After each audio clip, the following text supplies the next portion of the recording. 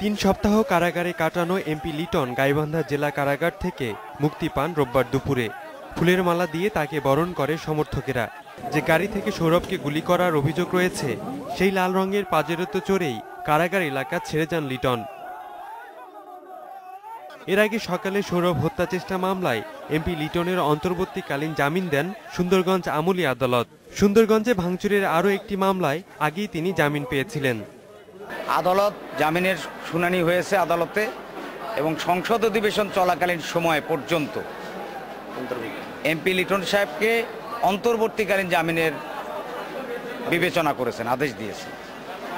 শিশু সৌরভ হত্যা চেষ্টা মামলায় এর আগে তিনবার লিটনের জামিন আবেদন নাকচ করেন আদালত। রোববারের জামিন আদেশ নিয়ে অসন্তোষ জানিয়েছে সৌরভের পরিবার। এমপি তো চব্বিশ দিন জেলত ছিল। এখন যা হওয়ার ও শরম পায় গেছি।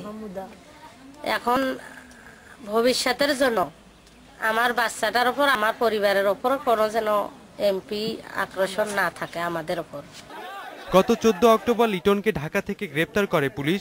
পরদিন সুন্দরগঞ্জের আদালত তাকে কারাগারে পাঠান। দুই অক্টোবর সুন্দরগঞ্জ বামুনডাঙ্গা সড়কে সংসদ সদস্য লিটনের গুলিতে শিশু সৌরভ আহত হয় বলে অভিযোগ ওঠে। Independent news.